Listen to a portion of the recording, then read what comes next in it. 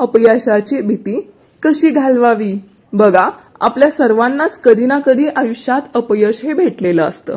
तर अपयश हे यश मिळवण्याच्या मार्गातील एक छोटासा धक्का असतो. परंतु त्याला पार करणं हे अनिवार्य असतं. त्याला पार करावंच लागतं.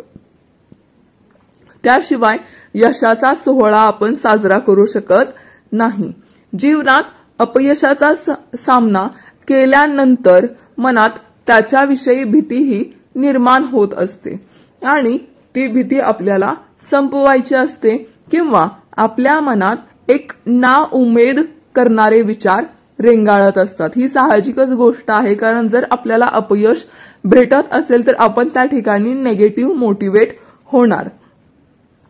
तरीही अपयशाची भीती मनातून घालवण्यासाठी आपण किंवा आपल्याला त्या निकोप मनाच्या व आपल्यावर जीवापाड प्रेम करणाऱ्या एखाद्या व्यक्तीची गरज भासत असते.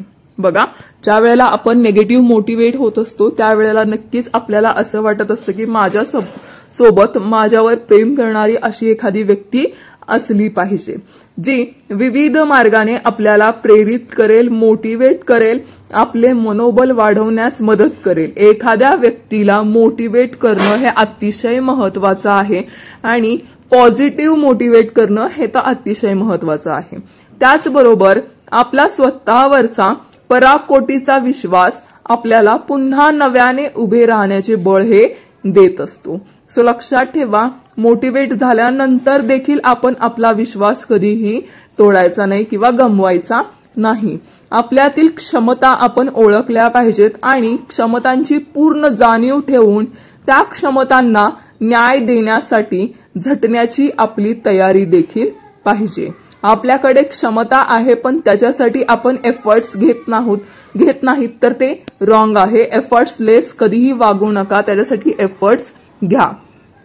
आपल्या मनात निर्माण होणाऱ्या शंका व टीकांना पाळ मूळ फुटू दे फुटू देण्यापासून वाचविता आले पाहिजे. बघा ज्या काही शंका असतील त्याची पाळमुळं फुटली नाही पाहिजेत. त्याच्यापासून आपण वाचलं पाहिजे. अपयशाची भीती मनातून घालवण्यासाठी आपल्या दृढ निश्चयाची मैत्री करता आली पाहिजे.